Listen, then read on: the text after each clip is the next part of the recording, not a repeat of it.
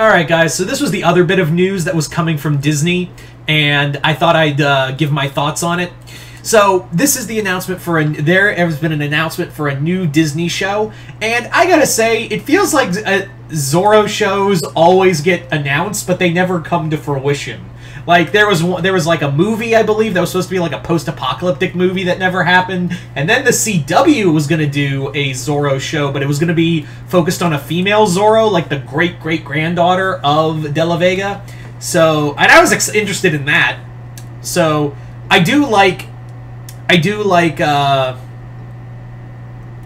I do uh, like I like every so often like we get the announce. It seems like the annual, like once or twice announcement for a new Zorro project. Like there's always like a new Zorro project every so often that gets announced, and then it's gone. It's all gone. uh,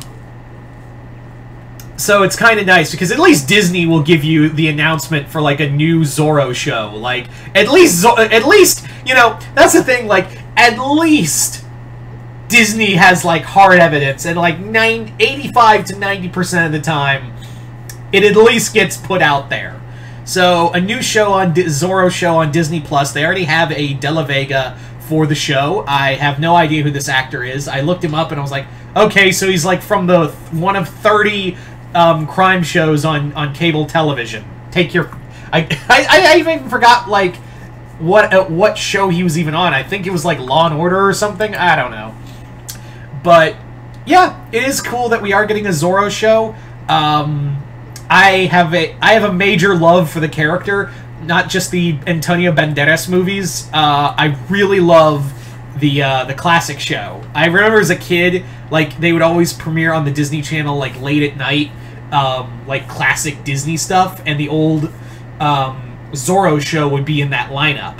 So that was always kind of cool of seeing like the classic Zorro show uh,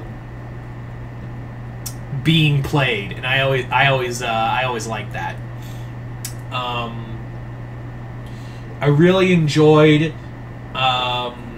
I, re- I've really enjoyed like a lot of Zorro projects. I've really enjoyed a lot of them.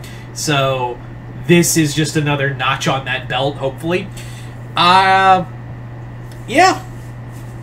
So the story is is that De La Vega, uh, um, uh, De La Vega is coming back to um, California after the a family tragedy, and it's him taking on the. Of course, it's an origin story, so that's really cool.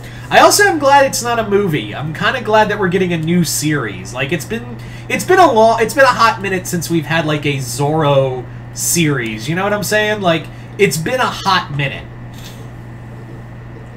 so that is really cool that we are getting like a, a like a hot uh, like a new show and a new um and a, and a new direction so i also like that it is doing a period piece i am happy that we are getting a period piece show because um, uh, here's the thing like a lot of these new zorro projects that kept getting announced and then canceled simultaneously there was always this running thing of why are we fucking with the with the formula here? Like Zorro in a post-apocalyptic world or Zorro present day.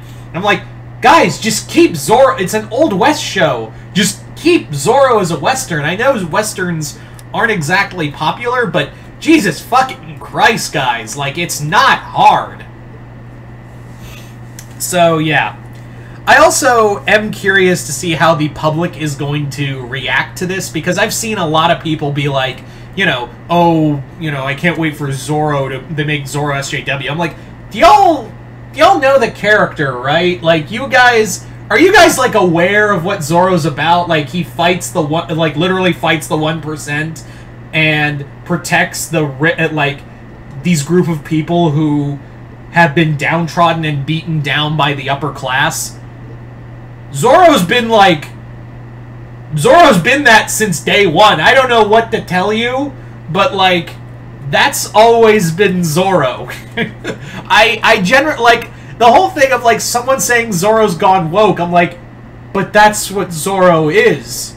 That's what he's always been, right? um, so that is cool. Um, this does mean like a few things. I will say that I feel like um, I was kind of hoping. Uh, I was kind of hoping if we were going to get a new Zorro show, I will talk about this. I was kind of hoping for a if we if we had ever gotten a new Zorro show, I was kind of hoping that we would get a ser- uh, like a series that's just a wee bit darker. And what I mean is is like just a, a little bit more touching on just the the brutality of that era of before California became the state. And because I've I've seen some history, it's amazing what you can find on YouTube. Um, I've seen a lot of like history videos talking about like when before California became a state and the whole rigmarole between um, Mexico and Spain, and subsequently France. But that's another story. That shit was brutal. That shit was ungodly brutal, and I don't think the whole also the, of throwing in Santa Anna into the whole thing. That shit was ungodly brutal, and I feel like they've never really touched on the brutality in Zorro. Well, the first Banderas movie uh, did touch on it a, a little bit, but I don't feel like it went far enough. So I would like a Zorro show that did kind of talk about like that kind of um, era when you know America's doing the Manifest Destiny, as well as just kind of the uh, like the political games that were going on between America, the Dons, and Santa Anna at the time. History is amazing, and but it's also very blood-soaked and brutal. so I wish we could do more of that. Uh, maybe we can do that, but I doubt it. Like I kind of doubt it. But then again, Andor went in some very dark places that I was not expecting on a Disney show. So yeah, this um, this does give me a lot of joy. This does, like to quote Thanos, this does bring a smile to my face. So I am very excited for a new Zorro show. If only we could have gotten that Zorro Django crossover movie. Yeah, that was supposed to happen, and it was supposed to be done by Quentin Tarantino, who it was supposed to be based off of his comic he wrote for uh, in that Dynamite Vertigo crossover. So there like that was supposed to happen and Banderas was to come back for Old Man Zorro and I wish we got that damn it I was like I was so ready for that to be a thing I I can't believe we didn't get that and it bothers me it bothers me to no end that we never got that in any way shape or form that bothers me Ugh. so yeah I'm very excited for the Zorro show. Hopefully this one will actually come about. I mean, with Disney, at least, like, 85 to 90% of the time, they do get shit through the door. So hopefully this time around we'll actually get a workable Zorro project off the ground. Fucking finally, and we could stop this whole thing of Zorro projects that get announced or rumored to be announced, and then fuck all happens. So, you guys tell me in the comments below, what do you guys think of this announcement for a new Zorro series. Are you guys excited? Are you guys not? Um, what are your expectations for this show? Uh, are you guys um, are you guys interested? Are you guys not? And also, just for shits and giggles, um, what other classic um, Western characters would you like to see get a new take? I know Disney kind of shit the bed on Lone Ranger, but I wouldn't mind like a, a second stab at it. I wouldn't be opposed if if there was another crack at it, honestly and I will also throw my hat in the ring for uh, the rifleman. I know, just ever uh, like uh, everyone just went, uh, just had a uh, uh, Guardians moment. Who? if you if you're like if you were like eight years old in the '90s and woke up at AMC uh, watching AMC like classic AMC, then you know exactly who I'm talking about. Or you're over 50, or you're like in your six in your 60s and 70s, then you know exactly who I'm talking about. Anyway, so I've rambled on enough. Hope you all enjoyed this. I'm Mr. Multiverse. I'll see you next time in the Multiverse.